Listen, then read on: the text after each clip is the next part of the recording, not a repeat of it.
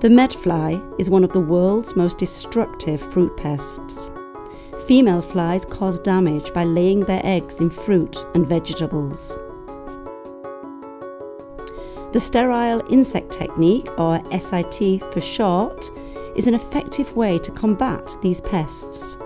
At mass rearing facilities like this one in Guatemala, flies are produced and sterilised with radiation.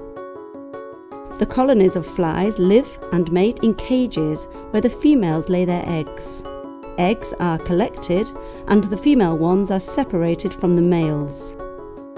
A thermal treatment is used to eliminate the female eggs at 34 degrees. The male eggs are placed in food trays where they hatch into larvae. Their food is a specially prepared mixture that mimics real fruit.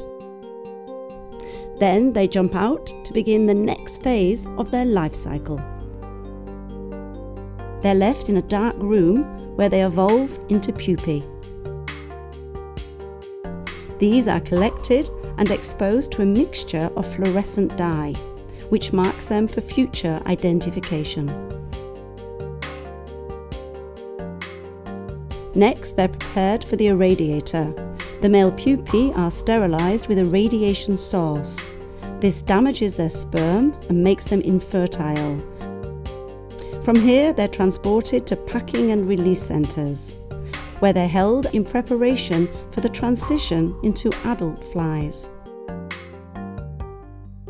The flies are then collected and chilled to immobilise them, before being placed into boxes for aerial release. In Guatemala, 37 million flies are loaded onto the plane for each release.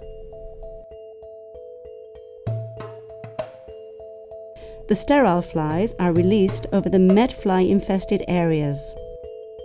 Here they mate with the wild female flies, but their mating produces no offspring. An increasing number of sterile males in traps compared to the number of wild ones is an indication that the technique is working. An ultraviolet light is used to identify the fluorescent dye which was added at the rearing centre. This distinguishes the captured sterile flies from the wild flies. Pest-free fruit is also a good indication that SIT is effective.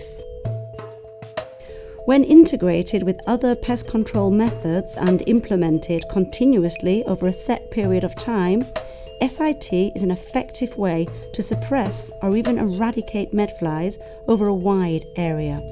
The IAEA, together with the FAO and through its Technical Cooperation Programme, supports the use of area wide SIT to control the pest. With the medfly under control, farmers can produce more and healthier fruit and vegetables. Export markets can be expanded and opened, and local and national economies are improved.